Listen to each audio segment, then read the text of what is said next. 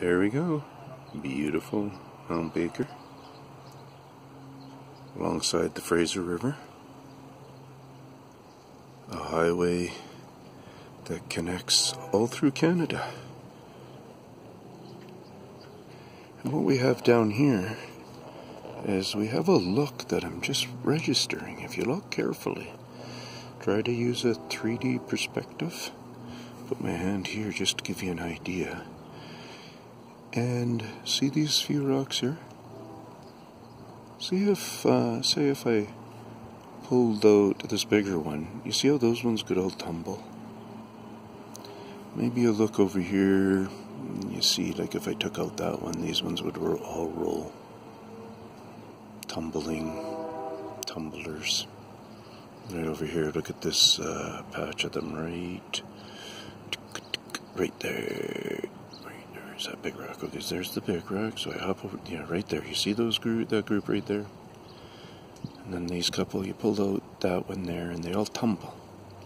The difference of a real rock, even with the dikes, the difference is we stack them in a in a way that you can tell they're stacked.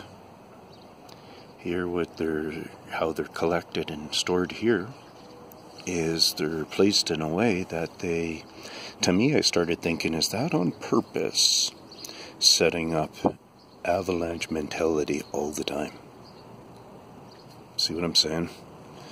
And, you know, certain amount of sizes of beings can hide and live in there. So, anyways, what has happened here is you see this big, beautiful patch of rock that has been staying the same size, except for that stuff growing into this area in a slow manner. I'm going to hit pause as I walk to the other. Oh, just hang on for the ride. It's going to be a noisy train. The river's, uh, you know, this is not much different than just a high tide, anyways, but the river's been just sitting like this up and down a little bit because the tide will affect it. I'm sure when the river's higher like this, then the tide actually probably affects it down into, um, um, yeah, or up into Chilliwack there.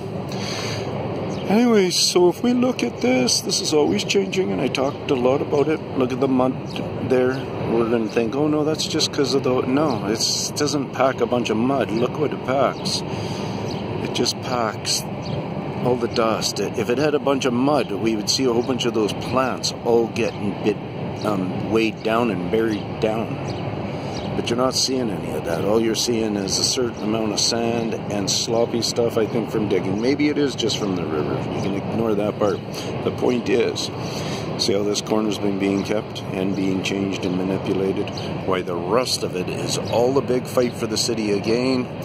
And if you've looked at my videos before, just look and see if you recognize any of these rocks to be the same rocks right in the front sections and stuff. Because we have those super gigantic. Okay, hold on for a second. There's some of the big ones, whether the same, the same ones or not. Because they know I watch this stuff.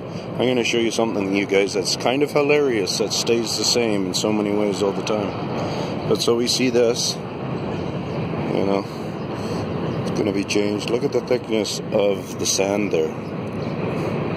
I think it's just a throwing up message for us. Oh, look at that, eh? Fresh break um, right there in that. Is that the right one? Let's see. Do, do, do, sorry about that, but I gotta really see where I'm seeing. Right there in that corner, you see that? All broken off there. Looks like they broke off the top of the next one because they're always chipping, they're always working. There's a lot of them, you guys. So a lot of the stuff we see here can be digging out from underneath and put up there. Is what my thought is. That's how I figure it going, right? And then if we jump over to this side, this pile here is always changing under this building.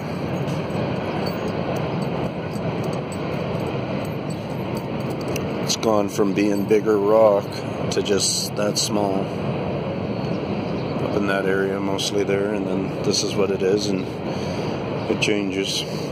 Like I've never seen that beautiful square edge before. I noticed those kind of things. I've never noticed that nice square edge there on that rock. It's just something that really stands out for me. And then you look into that girl right there in the middle there, the bigger one, how chipped up that face is. Look at that face there. So they're breaking them all down and you know these ones might be being just kept being brought out from inside and like in there. And reason being is because they like they they will create their own shoring. You know they'll look at our shoring systems strength systems and they for carrying big loads you can see a whole bunch of them right here and yeah, so they, you know, they're they're like that. They're copycats with engineering um, input.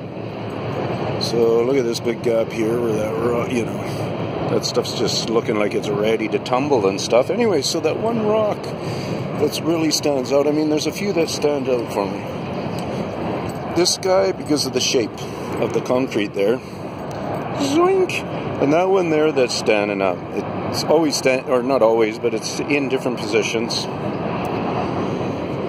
And this little bulge of rock here is taller than it usually is. And part of how I get that is because, you know, I watch how this carries on, and I really watch it, say, from about that right hand corner there, you know, from center corner there now all the way through here. Kind of really watch it. I know it's sitting a little high there. And this is a really good comparison spot for me because it's another good memory because I slowly, or not slowly, they slowly chip away at this corner here. That rock used to sit into the into there better. I don't know if they were all part of the same rock or not.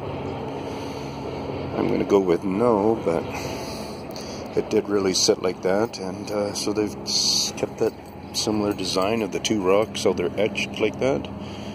And yeah, so yeah, and then our city cleans this up about. I don't know if they're up to three times a year, but they need to be at least three or four times a year.